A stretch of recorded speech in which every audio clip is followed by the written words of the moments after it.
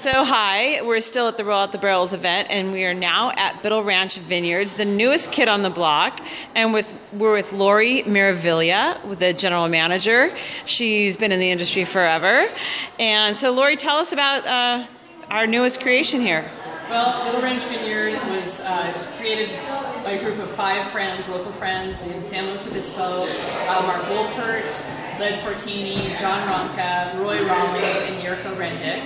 All got together and created this concept of starting a winery. Uh, we have our vineyard property out on the corner of Biddle Ranch Road and 227 the vintage dairy barn on the property that everybody's probably driven by a million times. Mm-hmm. Uh, that's our vineyard there on the corner. We have a vacation house on that property that was designed by one of the partners, Stan Fortini, uh, and her son Fortini Landscapes did all the landscaping. Just gorgeous, three bedroom, three bath house. You can sleep up to eight people. You can do events as a renter of the home.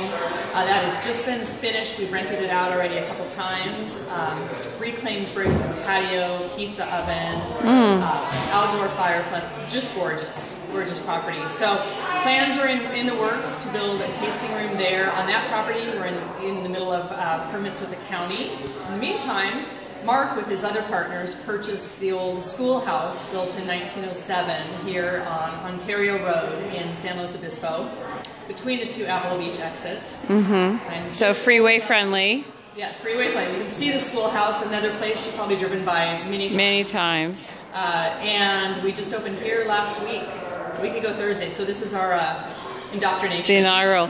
Well, it's gorgeous. So um, tell us something about the wines that you produce. Well, we have five different wines in the bottle. Uh, we have a Pinot Grigio Chardonnay, that's an estate Chardonnay from our vineyard in the Edna Valley. Uh-huh. Uh, we have a Pinot Noir, also from uh, the Edna Valley, Pinot Grigio, I said Pinot Grigio, uh, Sangiovese, Sangiovese. that, which is wonderful, and a cab.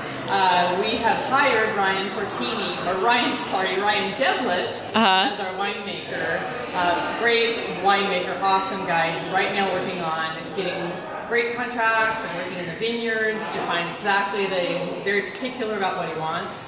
We've got a couple blends in the barrel right now. Mm-hmm. That'll be coming out in the fall. We have Syrah that's coming out. So we continue with our five kind of uh, basic wines in the profile and expand out from there a little bit. Are, are any of them estate wines? The Chardonnay is, yes. Okay. Yes. So you're sourcing fruit from other places, and that's the plan to continue? Yes, you know, we're also looking at purchasing vineyards here and there to kind of round out our profile. Um, but yeah, we, a little bit of both, a little bit of everything. Awesome. All right. So has it been a good weekend so far? Oh, and not roll out yeah. the barrels. Lots we of people. wonderful winemaker dinner. All the owners were here, and Ryan uh, Devlin, our winemaker. We roasted a pig out here on the back patio of the schoolhouse. It was just lovely. With string lights out here, all Yeah. the trees. It was a wonderful evening. I have to say your patio is beautiful. Yeah. So it won't be in the video, but you can look for the stills on on the site. And uh, welcome. We're we're again. it's good to still be working with you. And um, the wines are delicious. The venue is beautiful, and the hospitality top notch. So thank you very much.